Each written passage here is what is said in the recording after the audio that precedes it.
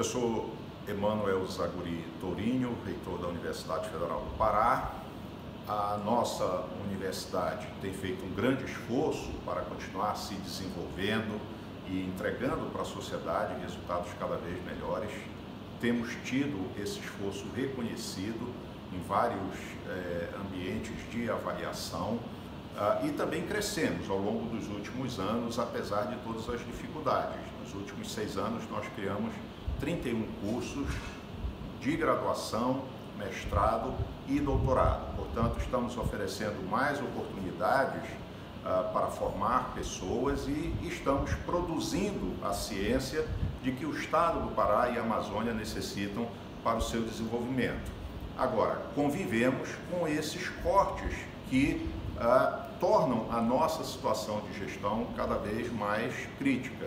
Uh, nós não temos como assimilar esse último corte efetuado no orçamento da Universidade Federal do Pará. Perdemos cerca de 14 milhões de reais e isso impacta tudo aquilo que a universidade entrega.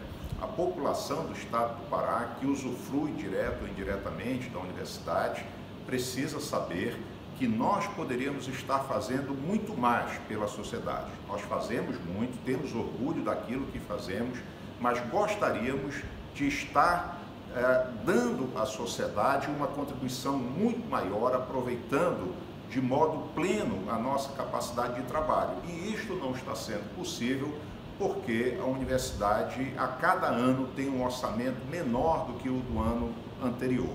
Então é necessário que exista uma mobilização da sociedade, das lideranças políticas, é? para que a educação e a ciência sejam priorizadas efetivamente nos orçamentos, porque educação e ciência uh, são as áreas mais fundamentais para garantir um ciclo de desenvolvimento social e econômico para o nosso Estado e para o nosso país.